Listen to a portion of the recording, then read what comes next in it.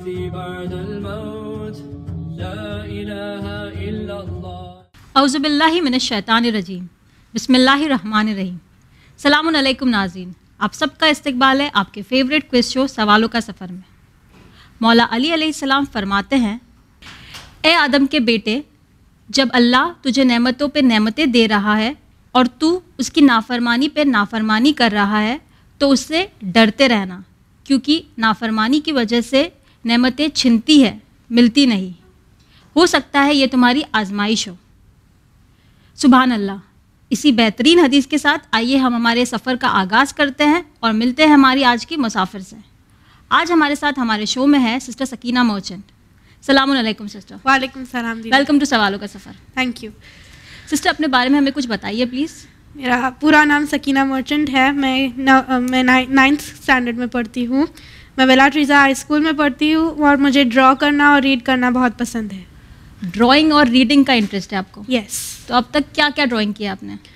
मैं objects draw कर लेती हूँ फ्रूट बास्केट स्पॉट्स अब तक की आपकी फेवरेट ड्राइंग कौन सी है? फ्रूट बास्केट की। फ्रूट बास्केट यस चलिए आई एम श्योर आपने बहुत अच्छी फ्रूट बास्केट बनाई होगी और आपकी जो हॉबी है आप इसको परस्यू करती रहेंगी। थैंक यू उसके अलावा करियर वाइज क्या सोचा है आपने? क्या करना चाहेंगे आप पढ़ाई कंप्लीट करके? मुझे डॉक्टर बनना है। इंशाल्लाह आप डॉक्टर बनना चाहते हैं? यस तो बहुत मेहनत करनी होगी आपको। यस टेंथ में अच्छे percentage then twelfth then C T then इंशाल्लाह डॉक्टर चलिए वेरी नाइस उसके अलावा दीनी इल्म कैसे हासिल करती हैं आप? Uh, मैं एक मदरसा जाती हूँ एंड घर पे uh, कुरान पढ़ती हूँ। कुरान पढ़ती हैं और मदरसा जाती हैं वहाँ से एकाम वगैरह जो है सब सीखती होंगी yes okay so are you ready for the show today yes so let's begin Sakina आप शो के रूल से तो वाकिफ़ ही होंगी। तीन लेवल हैं। हर लेवल में पाँच सवाल हैं। पहला लेवल कंप्लीट करने पर आपकी इनामी रकम होगी thousand rupees second level complete करने पर इनामी रकम होगी two thousand five hundred rupees और थर्ड लेवल कंप्लीट करने पर इनामी रकम होगी फाइव थाउज़ेंड रुपीज़ आपको कोई भी डिफ़िकल्टी होगी तो उसके लिए आपके पास है तीन लाइफ लाइन जो है फिफ्टी फिफ्टी फ्लिप और डबल फ्रीज उसके अलावा एक और नई लाइफ लाइन है जिसका नाम है सेफ्टी नेट जो लेवल वन में ऑटो एक्टिवेटेड है। लाइक आपने अगर कोई गलत जवाब दिया तो वो सेफ्टी नेट की वजह से आपका वो गलत जवाब कैंसिल हो जाएगा और आपको फिर से एक चांस मिलेगा। ओके ओके रेडी हैं आप? यस लेवल वन का पहला सवाल आपके लिए आपकी कंप्यूटर स्क्रीन पर। ये किस बीबी के लकब है?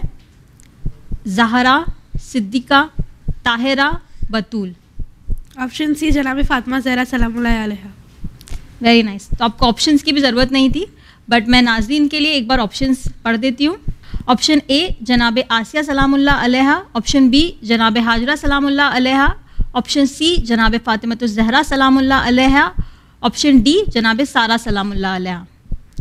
आपने कहा ऑप्शन सी जनाब फ़ातिमत जहरा सलामुल्ला अलैहा। कॉन्फिडेंट यस महफूज कर लूँ? यस कंप्यूटर ऑप्शन सी जनाब फ़ातिमत जहरा को महफूज करिए और हमें बताइए ये सही जवाब है या नहीं। ऑप्शन सी जनाब फ़ातिमत जहरा इसका बिल्कुल सही जवाब है। ओके? वी फ़ातिमत जहरा के ये सारे लकब हैं जो उनकी एक एक क्वालिटीज़ को डिस्क्राइब करते हैं। ओके? ओके। बढ़ते हैं दूसरे सवाल की तरफ़।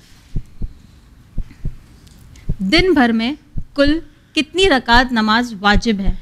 ए सत्रह रकात बी पच्चीस रकात सी तीस रकात या फिर डी फिफ्टी टू रकात? ए सेवनटीन रकात। कॉन्फिडेंट यस महफूज कर लूँ? Yes computer option A seventeen रकात को महफूज करिए और हमें बताइए सही जवाब है या नहीं। ऑप्शन ए सेवनटीन रकात इसका बिल्कुल सही जवाब है। दिन भर में जो हम लोग पढ़ते हैं नमाज़ सुबह मगरब इशा जोहर असर सबको मिला के सेवनटीन रकात जो है वो वाजिब है। ओके बढ़ते हैं थर्ड क्वेश्चन की तरफ़। थर्ड क्वेश्चन एक जीके क्वेश्चन है. What is the national bird of India A pigeon B crow C peacock या फिर D sparrow C peacock confident yes महफूज कर लो yes computer option C peacock को महफूज करें और हमें बताइए सही जवाब है या नहीं? ऑप्शन सी पिकॉक इसका बिल्कुल सही जवाब है. ये बहुत इजी क्वेश्चन था. थर्ड स्टैंडर्ड के बच्चों को भी नहीं नहीं फ़र्स्ट से ही स्टार्ट हो जाता है ये है ना? चलिए, बढ़ते हैं फोर्थ क्वेश्चन की तरफ़। इनमें से ज़मीन करबला का क्या नाम है? ए, शत्तुल फुरात, बी, नैनवा, सी, करबोबला, या फिर डी, ये सब। पहली बार कोई क्वेश्चन में आपको थोड़ा सोचना पड़ा। अब तक के तीन जवाब तो आप ऑप्शन देखने से पहले ही बोल देती थी। हाँ।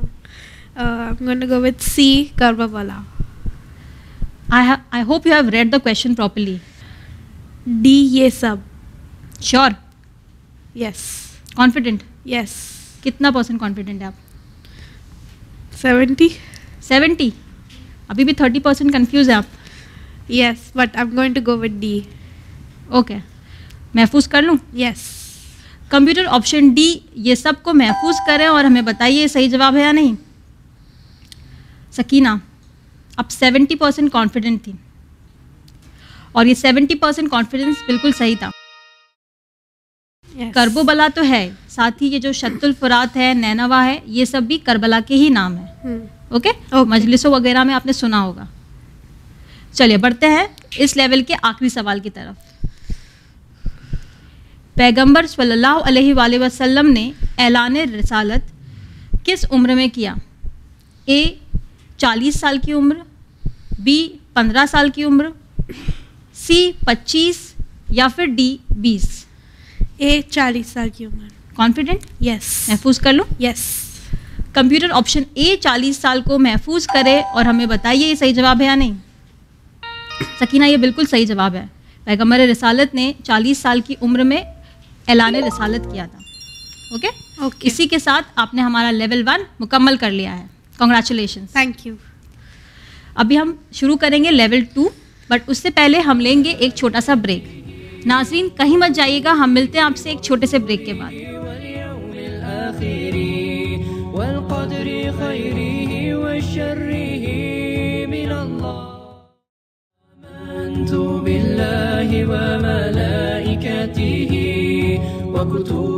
Welcome back after the break नाजरीन हमारे साथ है सिस्टर सकीना मोचन जिन्होंने हमारा लेवल वन कंप्लीट कर लिया है विदाउट एनी लाइफ लाइन अब हम शुरू करेंगे उनके साथ लेवल टू सकीना रेडी हैं आप? Yes. लेवल टू का पहला सवाल आपके लिए आपकी कंप्यूटर स्क्रीन पर. जनाब इब्राहिम ने इनमें से किस जालिम का मुकाबला किया? ए फिरौन बी शद्दाद सी केदार या फिर D Namrud? B Shaddad. Confident yes महफूज कर लूँ yes. ज़रा भी सोचना नहीं है आपको नहीं कितना परसेंट कॉन्फिडेंस है 95 95 yes. आप अगर डाउट में हैं तो आपके पास आपकी लाइफलाइन है आपकी तीनों लाइफलाइन अभी भी महफूज है सेफ्टी नेट ऑटो एक्टिवेटेड थी लाइफलाइन वन में तो वो ख़त्म हो चुकी है बट जो तीन लाइफलाइन थी 50 50 डबल फ्रीज या फिर फ्लिप वो अभी भी बाकी है नबियों की हिस्ट्री पढ़ी है आपने? थोड़ा बहुत थोड़ा है। रीड क्या है? खुद से क्लासेस में सुना है क्लासेस मजलिस में सुना है मजलिस में सुना है और थोड़ा बहुत खुद से भी रीड किया है। खुद से भी रीड किया है। तो आपको अपनी उन उस सारी नॉलेज पर थोड़ा ज़ोर डालना पड़ेगा याद करना पड़ेगा और सोचना पड़ेगा कि जनाब इब्राहिम के टाइम पर कौन जालिम बादशाह था। Option D Namrud confident yes महफूज कर लूँ? यस पहले आपने कहा शद्दाद अब आप कह रही हैं नमरूद। क्या सोच के आपने ऑप्शन चेंज किया? फ़िरौन जनाब मूसा के टाइम पे थे। ओके और अ, केदार अ, आई- मुझे नाम याद नहीं आ रहा है कि कौन से प्रॉफिट के नाम प्रॉफिट के टाइम पर थे। और शद्दाद मुझे भी थोड़ा सा डाउट था। तो अब मुझे लगता है नमरूद है। नमरूद है। यस श्योर है आप? यस महफूज कर लूँ? Yes computer option D Namrud को महफूज करिए और हमें बताइए ये सही जवाब है या नहीं। सकीना आपने इसका जवाब दिया है डी नमरूद जो कि बिल्कुल सही है। ओके ओके थैंक यू फिरौन जैसा कि आपने कहा जनाब मूसा के टाइम पर था। शद्दाद वो था जिसने जन्नत बनाने की कोशिश की थी। और केदार जो था वो जनाब साले के टाइम पर था। और नमरूद जनाब इब्राहिम के टाइम याद रहेगा अब आपको? यस इनशाला चलिए इसी के साथ बढ़ते हैं हम सेवेंथ क्वेश्चन की तरफ़। ये एक ऑडियो क्वेश्चन है। अभी एक ऑडियो प्ले किया जाएगा जिसे आपको ध्यान से सुनना है। Okay okay. उसके बाद आपको बताना है ये कौन सी सूर्य की आयत है। ओके रेडी हैं आप? Yes computer please play the audio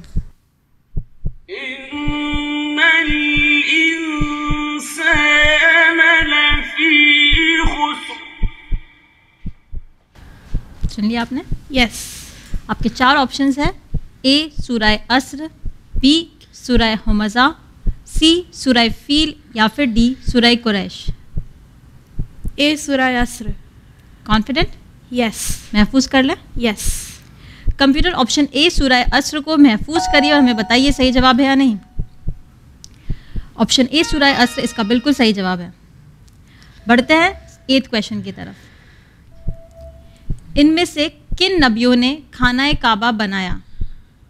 ए जनाब हारून एंड जनाब मूसा अलैहिस्सलाम बी जनाब याकूब एंड जनाब यूसुफ अलैहिस्सलाम सी जनाब दाऊद एंड जनाब शुमोइल अलैहिस्सलाम या फिर डी जनाब इब्राहिम एंड जनाब इस्माइल अलैहिस्सलाम डी जनाब इब्राहिम एंड जनाब इस्माइल अलैहिस्सलाम कॉन्फिडेंट यस महफूज कर लें? यस कंप्यूटर ऑप्शन डी, जनाब इब्राहिम एंड जनाब इस्माइल को महफूज करें और हमें बताइए सही जवाब है या नहीं।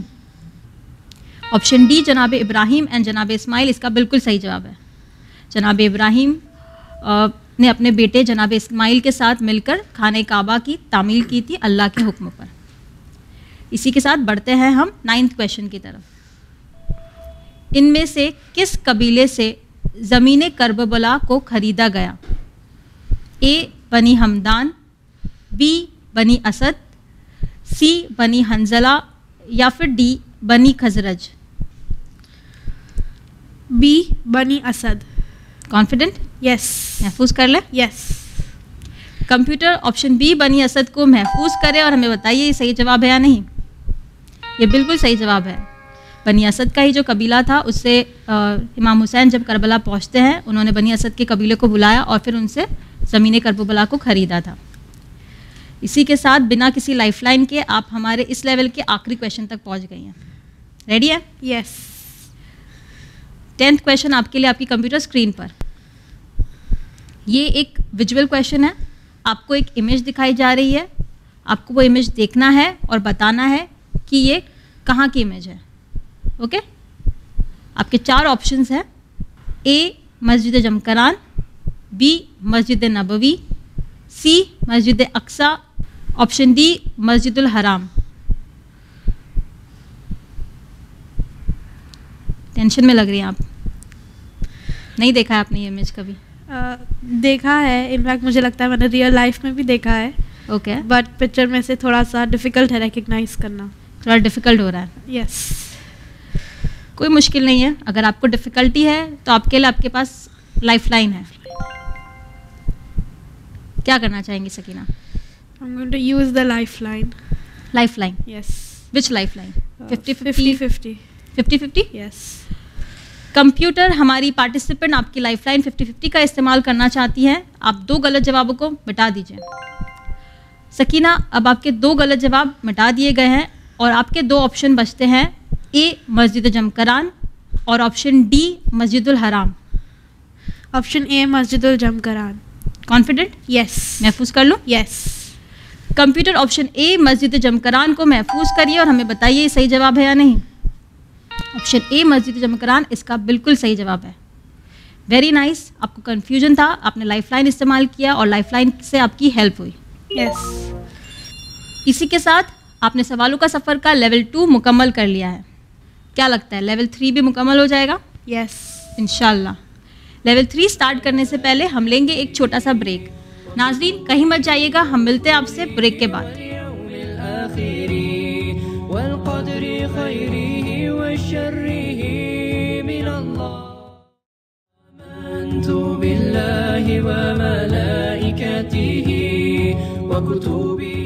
Welcome back after the break नाजरीन. हमारे साथ है सिस्टर सकीना मोचन जिन्होंने हमारा लेवल टू मुकम्मल कर लिया है एक लाइफलाइन के इस्तेमाल के साथ. अब हम शुरू करेंगे उनके साथ लेवल थ्री सकीना रेडी हैं आप? Yes. लेवल थ्री थोड़ा डिफ़िकल्ट होगा. ओके सो ध्यान से सोच समझ के जवाब दीजिएगा. Okay all the best thank. Level three का पहला क्वेश्चन आपके लिए आपकी कंप्यूटर स्क्रीन पर. इनमें से कौन कौन सी चीज़ें नजासत को पाक करती है? ए पानी. बी ज़मीन. सी सूरज. या फिर डी ये सब। डी ये सब। श्योर है? आप यस महफूज कर लूँ? यस कंप्यूटर ऑप्शन डी ये सबको महफूज करिए और हमें बताइए ये सही जवाब है या नहीं। ये सब इसका बिल्कुल सही जवाब है। पानी ज़मीन और सूरज ये सारी ही जो है वो नजासत को पाक करती हैं। बढ़ते हैं ट्वेल्थ क्वेश्चन की तरफ़। किस नबी ने चूटी की बात सुनी और समझी? ए, जनाब सुलेमान अलैहिस्सलाम, बी, जनाब यूनुस अलैहिस्सलाम, सी, जनाब इदरीस अलैहिस्सलाम, या फिर डी, जनाब याहया अलैहिस्सलाम। किस नबी ने चूटी की बात सुनी और समझी?